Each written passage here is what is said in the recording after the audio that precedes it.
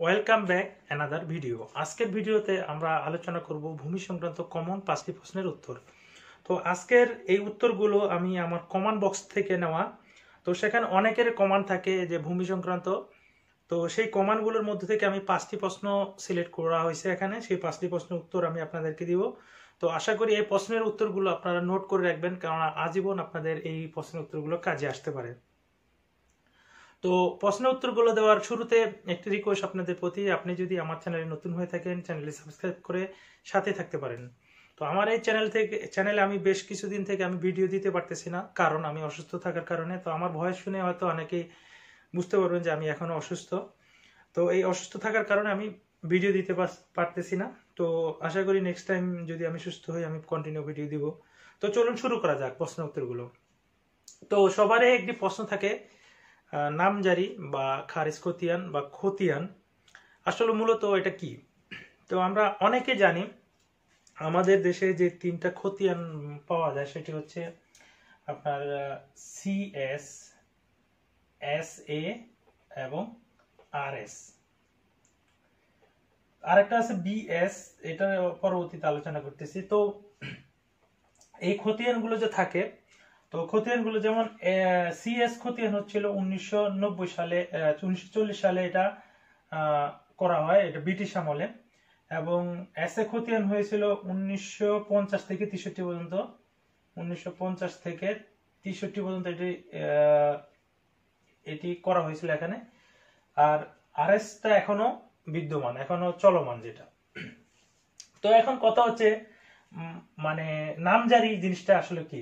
নামজারি জিনিসটা হচ্ছে আপনার এই যেমন একশো চল্লিশ থেকে একশো পঞ্চাশ এর মধ্যবর্তী যে সময়টা, এর মধ্যবর্তী সময়টার মধ্যে যে যে জমিটা ক্রয় বিক্রয় হয়েছে, এই ক্রয় বিক্রয়ের টাইমে যে মালিকানা পরিবর্তন হয়েছে, মালিকানা পরিবর্তন পরে যে খতিয়ানে যে সংশোধন আনা হয়েছে, সেটা হচ্ছে নামজারি। বা এস এ খতিয়ান থেকে আর এস খতিয়ান পর্যন্ত এর মাঝখানে যে সময়টা, এই সময়টার মধ্যে কোনো একটা জমির, কোনো একটা জমির যদি সেখানে মালিকানা পরিবর্তন হয়, তো সেটি যে খতিয়ানটা সংশোধন করা হয়, সেটি হচ্ছে নামজারি খতিয়ান বা জমাখারিজ যা মিউটেশিয়াম বলা হয়। তো আশা করি এই বিষয়টা ক্লিয়ার যে মিউটেশিয়াম জিনিসটা কি, খতিয়ানটা কি জিনিস। তো আপনারা একটা জিনিস মনে রাখবেন, যখনই কোনো একটি জমির মালিকানা পরিবর্তন হবে, সেক্ষেত্রে আপনার অবশ্যই নামজারি আপনাকে করতে হবে। তো এখন এটা হচ্ছে প্রথম প্রশ্ন। প্রথম প্রশ্ন ছিল এটি, যে খতিয়ান বা নামজারি কি জিনিস? এখন আমরা আসব দ্বিতীয় প্রশ্নে। দ্বিতীয় প্রশ্ন ছিল, জমি দখল হলে কি করবেন, কীভাবে উদ্ধার করবেন? তো এখানে বিষয়টা একটু কমপ্লিকেটেড কিছু আইনি বিষয় রয়েছে। তো জমি দখল হলে হুমকি আসলে আপনার আইনি ব্যবস্থা অবশ্যই নিতে হবে, না হলে আপনি জমির জমির মালিকানা হারাতে পারেন বা জমির জমি থেকে আপনার দখল চলে যেতে পারেন তো এখানে আইনগত কিছু ব্যবস্থা রয়েছে। আইনগত ব্যবস্থা, অর্থাৎ আপনাকে কেউ যদি হুমকি প্রদান করে, যদি হুমকি দেয় হুমকি দিলে আপনি যেটা করবেন, হুমকি দিলে আপনাকে সাধারণত একটি ডায়েরি করতে হবে, জিডি করতে হবে থানাতে। আর আপনার জমিটি যদি দখল হয়ে যায়, দখল হলে আপনাকে যেটি প্রথমত যে বিষয়টা আপনাকে করতে হবে, সেটি হচ্ছে মামলা করতে হবে আপনাকে। এবং সেই মামলাটি অবশ্যই ষাট দিনের মধ্যে হতে হবে, অর্থাৎ দুই মাসের অতিক্রম করলে কিন্তু আপনি সেই দ্রুত আদালতে সেই মামলার কোনো সমাধান পাবেন না। মামলা করতে পারবেন, অবশ্যই দ্রুত সেই সমাধানটা হবে না, অনেক দীর্ঘ সময় লেগে যাবে। যদি ষাট দিনের মধ্যে হয়, সেক্ষেত্রে আপনি একশো চুয়াল্লিশ ধারা, চুয়াল্লিশ ধারাতে আপনি মামলা করতে পারেন এবং একশো পঁয়তাল্লিশ ধারাতে আপনি মামলা করতে পারেন। একশো চুয়াল্লিশ ধারার মামলার ফলে আপনার মালিকানা আপনি ফেরত পাবেন। আদালতে জাস্ট আপনার দখল সূত্র কে ছিল সেটি নির্ণয় করবে এবং আপনার মালিকানা আপনাকে ফেরত ফেরত দিবে বা আপনাকে পুনরায় আপনার মালিকানা স্থাপন করবে সেখানে। তো এখানে আরেকটা বিষয় সেটা হচ্ছে, যদি আপনি চান সেখানে যে ব্যক্তি আপনার জমিটি দখল করে নিয়েছে, তাকে যদি আপনি সেখান থেকে উঠিয়ে দিতে চান, সেক্ষেত্রে আপনি আরেকটা মামলা করতে পারেন। সাথে সাথে সেটি হচ্ছে একশো পঁয়তাল্লিশ ধারায়। সেটি করলে সেখানে কোনো ব্যক্তি অবস্থান করতে পারবে না। যতক্ষণ পর্যন্ত মামলা সমাধান না হয়, মামলা নিষ্পত্তি না হয়। এটা হচ্ছে জমি দখল হলে আপনার করণীয়। আর তৃতীয় প্রশ্ন হচ্ছে দান কবলা বাতিল করা যায় কি না তো দান কবলার কিছু শর্ত রয়েছে। দান কবলার প্রথম শর্ত শর্ত যেটা, সেটা হচ্ছে আপনাকে দখল বুঝে দিতে হবে।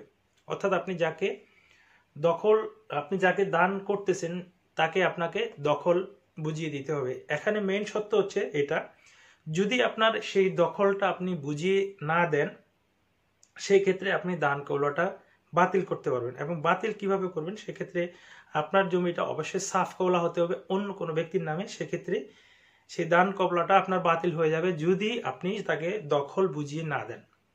তো মোটামুটি এটি ছিল অনেকের প্রশ্ন। আর চতুর্থ প্রশ্ন যেটা হচ্ছে, জমির দলিল হারিয়ে গেলে কি করবেন? তো জমির দলিল হারিয়ে গেলে এটা টেনশনের কোনো বিষয় না এটি খুব সহজে আপনি উত্তোলন করতে পারবেন। কারণ একটি জমি তিনটি ভলিউমে লেখা হয়। আপনার যে, যখন একটি দলিল সম্পাদন হয়, যেটি সাফ কলা হোক বা দান কলা হ্যাঁ বা যেটাই হোক, সেটি তিনটি ভলিউমে সেটি লিপিবদ্ধ করা হয় সেম দলিলটি।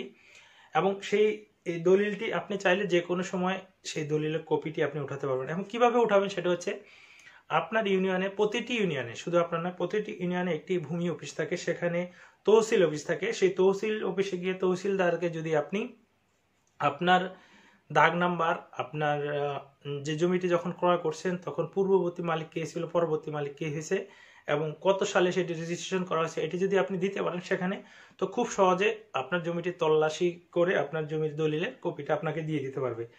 কপি নয়, দলিলের নাম্বারটা উঠে নিতে পারবেন। দলিলের নাম্বারটা নিয়ে আপনি ভূমি অফিসে উপজেলা ভূমি অফিসে গিয়ে সেখানে আপনার দলিল নাম্বারটা দিয়ে আপনি পুনরায় দলিলের কপিটি উঠিয়ে নিতে পারবেন। এটা হচ্ছে দলিল উঠানোর সহজ উপায়।